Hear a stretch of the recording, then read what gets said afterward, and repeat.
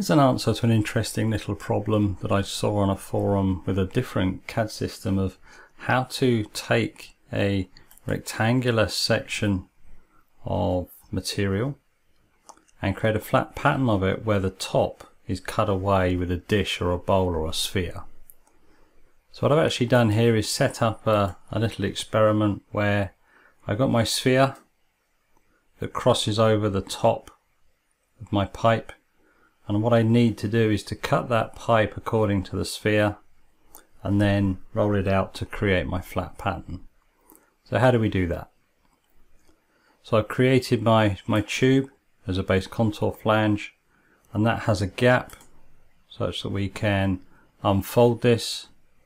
If I just do a quick unfold here we can see we've got a regular rectangle section.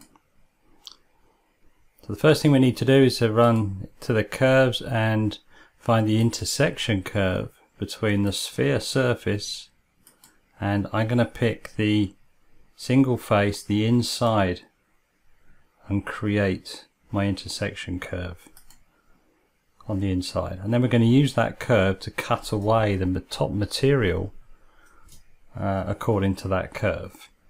Now if I go straight ahead with normal cutout and select a 3D curve and pick this curve, I'm going to hit a problem whereas the section must be closed. So we've got to do a little bit of preparation work first.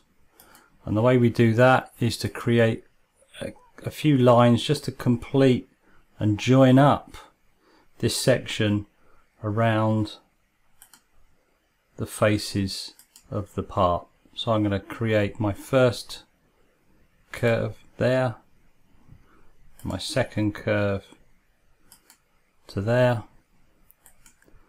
and then I'm going to create an arc, three point arc.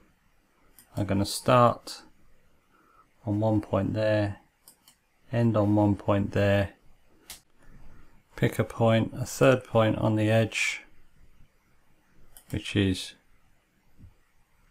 point on curve, okay. And then what we've done here we've completed our sketch line our intersection curve and up around the top here. And that was a simple case of generating the normal cutout from 3D curve. Pick the curve and the top of our cylinder is cut away using normal cutout. So the thickness edge of our sheet material um, is perpendicular to the flat face. Now when we create our unbend we generate the correct shape for that tube interface.